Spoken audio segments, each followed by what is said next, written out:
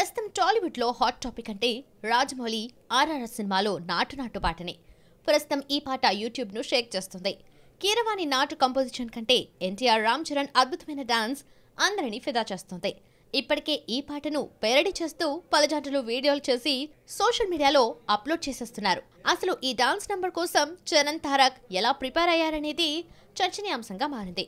నిజానికి ఈ ఇద్దరు హీరోలు తమ తమ సినిమాల్లో పాటలకు డాన్స్ చేయడానికి ప్రాక్టీస్ సెషన్స్కి హాజరుకారు. హాజరు కారు కొరియోగ్రాఫర్స్ డెమో టీవీడీలు పంపితే ఇంట్లో చూసి నేరుగా సెట్స్కి వచ్చి డైరెక్ట్గా డాన్స్ చేస్తారు.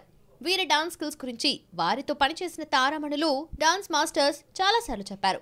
అయితే ఆర్ఆర్ఆర్లో నాటు నాటు పాట కోసం మాత్రం కొరియోగ్రాఫర్ ప్రేమ్ రక్షిత్ డాన్స్ స్టూడియోలో ప్రాక్టీస్ సెషన్కి హాజరయ్యారట. ఇద్దరి డాన్స్ మూమెంట్స్ గ్రేస్గా కనిపించడంతో పాటు సరైన టైమింగ్ కుదరాలి. దీనికోసం వారం పాటు సాధన చేశారట. అందుకే ఇప్పుడు ఇలాంటి అద్భుతమైన రెస్పాన్స్ లభిస్తోంది. మీరేమంటారు?